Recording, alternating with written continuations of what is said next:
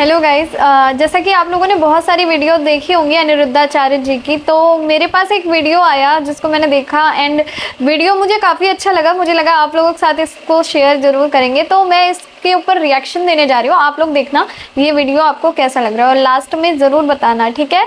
कि वीडियो को देख करके आपको क्या लगा। जी भैया। प्रणाम गुरु जी जी। सर मेरा नाम विजय शोभाराम है। मैं कुछ पंक्तियाँ मैंने लिखी है सभी गुरुओं के लिए। जी। वो सुनाना चाहूँगा। जी। गुरु की भक्ति गुरु की शक्ति गुरु से मिला है ज्ञान। गुरु को पूजू भगवान से पहले गुरु को करूँ प्रणाम। प्रणाम गुरु। खुश रहिए।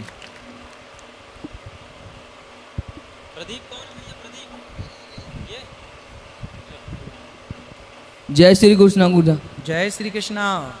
गुरु जी मेरा एक क्वेश्चन है। हाँ।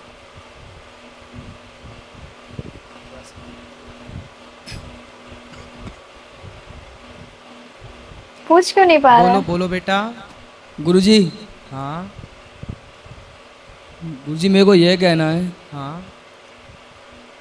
मैं बाहर था हाँ। तो मैं भगवान की पूजा दिल से करता था गुरु जी हाँ। जब से जेल आया मैंने पूजा करनी भी छोड़ दी गुरु जी पूजा करनी छूट गई। जी गुरु जी कोई बात नहीं फिर स्टार्ट कर देना। गुरु जी भगवान से विश्वास ही उठ गया मेरा गुरु गुरु जी गुरु जी आप ठीक कह रहे हैं अपनी जगह सही हैं। भगवान से विश्वास उठ गया। अभी वो विश्वास वापस आ जाएगा उसकी चिंता मत करिए। ये बताइए कि विश्वास क्यों उठ गया? गुरु जी हमारी माता श्री ने जागरण कराया था। जागरण? जी गुरु जी ठीक है। तो जागरण कराने के बाद माता श्री एक्सपायर हो गई। आपकी माता एक्सपायर हो गई? जी गुरु जी क्या हो गया उनको? उनको ऊपरी चक्कर हो गया था गुरु जी चक्कर आ गया। ऊपरी चक्कर करा दिया था किसी ने। ऊपरी? जी गुरु जी ठीक है ऊपरी चक्कर वैसे कुछ होता नहीं है। गुरु जी ये वृंदावन गए थे हम। तो, तो आप आप- आप जेल कैसे आ गए? जी शादी करी थी गुरु जी हाँ। लव मैरिज भक्कर। आपने? जी गुरु जी फिर क्या हुआ? उसी का केस लग गया गुरु जी तो फिर पत्नी साथ में नहीं रही आपके? जी नहीं गुरु जी अब उन वो साथ में नहीं है। उनका फ़ोन आया था दो बार उसके बाद से कोई तो जब लव मैरिज कर ली शादी कर ली तो शादी के बाद फिर क्या हुआ? नहीं। गुरु जी क्या नाम है गवाही खिलाफ हो गई उनकी उसके भाई से लड़ाई थी अच्छा तो आपकी पत्नी ने गवाही खिलाफ में दे दी आपके? जी गुरु जी क्या क्या कह दिया फिर आपकी पत्नी ने? थाने में गुरु जी फेवर दी। हाँ। और यहाँ जब कोर्ट में इधर लेके आए तो क्या क्या बोल दिया? कि गुरु जी क्या नाम है मेरे को ज़बरदस्ती लेके गए थे ये। अच्छा ज़बरदस्ती मेरे साथ शादी की? जी गुरु जी तो फिर कितने वर्ष की सजा हुई आपको? जी गुरु जी आजीवन की सजा हुई। आजीवन? आजीवन मतलब 20 साल। जी गुरु जी तो बेटा क्यों भाग के शादी करते हो? माँ बाप करेंगे ना शादी? क्या जल्दी थी? गुरु जी मैंने बता के करी थी घर में शादी। तो जब बता के करी थी तो व्यवस्थित होती मंडप गढ़ता हल्दी चढ़ती तेल चढ़ता और व्यवस्थित बारात जाती। भागने की क्या ज़रूरत थी? गुरु जी आरा समाज से करी थी गुरु जी किसी समाज से की हो पर भागने की क्या ज़रूरत थी बेटा? शादी जैसे सबकी होती है नॉर्मली वैसे होनी थी बारात के साथ। सर गुरु जी वो वहीं पे रहती थी ना पाँच साल से वहीं रह रही थी वो। लड़की? हाँ जी हरियाणा में ही रह रही थी वो। हम्म तो आप शादी कर ली उससे? जी गुरु जी तो वो आपको चाहती थी आप उसको चाहते थे? नहीं गुरु जी दोनों चाहते थे एक दूसरे को। तो फिर बाद में तो वो पलट गई? जी गुरु जी यहाँ पे लेके आके उसे मारा पीटी करी थी इसलिए पलट गई वो। आपने मारा पीटी भी कर दी नहीं गुरु जी हाँ। उनके भाइयों ने। अच्छा उसके भाई ने उसको मारा टॉर्चर किया तो पलट गई। पर गलत है ना बेटा भाग वाग के शादी करना बार बार हम लोग यही समझाते हैं मत करो गलत मत करो गलत मत करो गलत।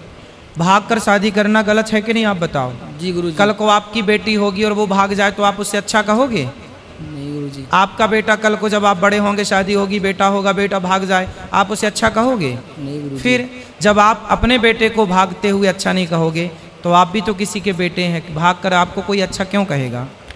अब नहीं भागना आगे से। गलती की है भगवान ने जल्दी से आपको मुक्त करें। आप ये कह रहे हैं भगवान से विश्वास उठ गया। क्यों उठ गया विश्वास? क्योंकि माँ मर गई। जी गुरु जी है ना? अच्छा ये बताओ क्या माँ आपकी कभी ना मरती? बात तो सही है। जी अभी तो बहुत उम्र थी उनकी गुरु जी कितनी उम्र थी? अभी वो चौंतीस साल में एक्सपायर हो गई थी गुरु जी चौंतीस? जी गुरु जी चौंतीस थर्टी फोर जी, गुरु जी। चौंतीस साल की उम्र में वो एक्सपायर हो गई। जी गुरु जी बेटा कुछ बच्चों की माँ तो पैदा करते ही मर जाती है। है। कुछ लोगों की माँ जब बच्चा दस साल का होता है तब मर जाती है। बेटा संसार का नाम है मृत्यु लोक।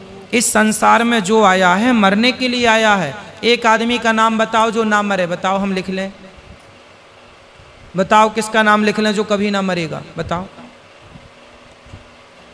कौन नहीं मरता?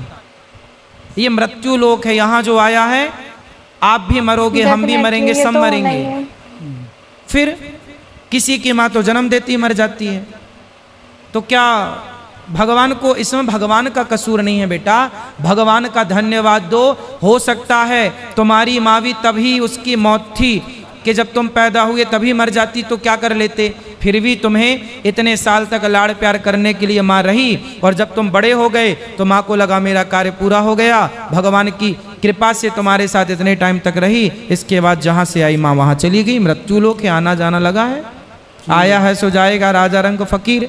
एक सिंहासन चढ़ चला एक बंधा जंजीर। जी गुरु जी तो भगवान को इसमें भगवान का क्या दोष है ये बताओ। गुरु जी मैं तो कावड़ भी लेके आया हूँ बाहर से। नहीं कावड़ लाओ बेटा। अच्छा ये बताओ तुम कावड़ लाए तुम भक्ति करते हो तुम पूजा करते हो इसका मतलब क्या है कि तुम्हारे घर में कभी कोई मरे ही ना? नहीं गुरु जी ऐसा नहीं था मगर मैं पूरी सेवा करता था भगवान की हर चीज़ से, तो भगवान भी- की सेवा करने वाले के अच्छा बताओ। भगवान श्री कृष्ण के सगे भांजे की मृत्यु हो गई महाभारत में। सही बात है। अभिमन्यु नाम था। अभिमन्यु मर गए।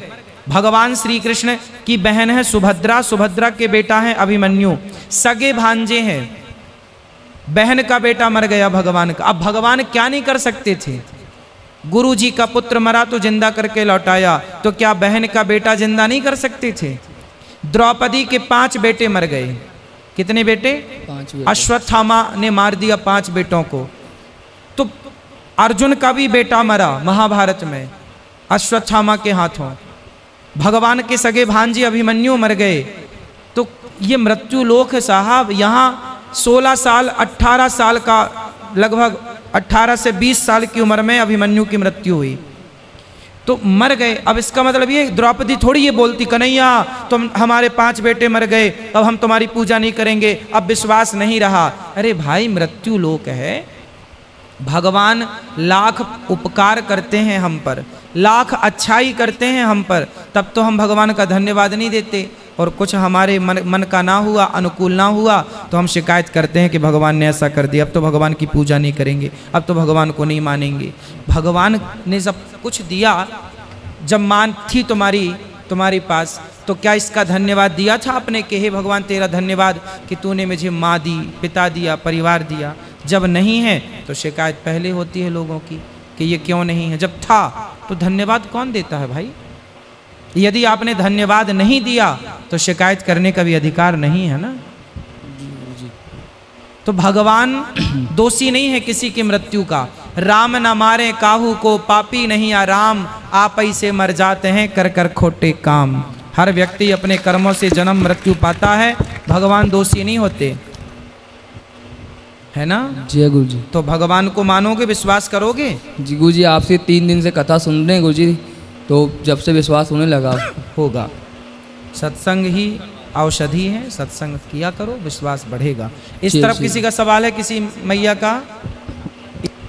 आ, वीडियो काफ़ी अच्छी थी। और एक चीज़ जो मुझे वीडियो को देख के समझ में आया, वो ये मैंने देखा कि जितने भी जेल में लोग थे, उनके लिए सत्संग हो रहा था। तो बेसिकली उसी में से एक लड़का था जिसने मतलब ये अपनी सारी बात बताई। एंड वाकई में जो स्टोरी है बेचारे की वो तो दर्दनाक है क्योंकि उसकी माँ ख़त्म हो गई एकदम से ऐसे तो हो जाता है भाई। कई बार कई लोगों का जो मन है वो उठ जाता है भगवान से, पर ये भी बात सही थी। और भले बहुत सारे वीडियोस में मैं गुरु जी से रिलेट करूँ या ना करूँ, पर हाँ इस वीडियो में मैं उनकी बातों से ज़रूर रिलेट कर रही हूँ कि वाकई में ये बात सही है। कि अगर किसी की डेथ हो जाती है या कुछ ऐसा हो जाता है तो इसका मतलब ये नहीं है कि भगवान को आप उसके लिए दोषी ठहराएँ। क्योंकि हर किसी इंसान की जितनी एज है, वो पहले से ही जैसा कि मैं मानती हूँ कि सारा कुछ फिक्स है, ठीक है? तो ज़्यादातर मोस्टली लोग यही मानते हैं ना कि नियति है, भविष्य है।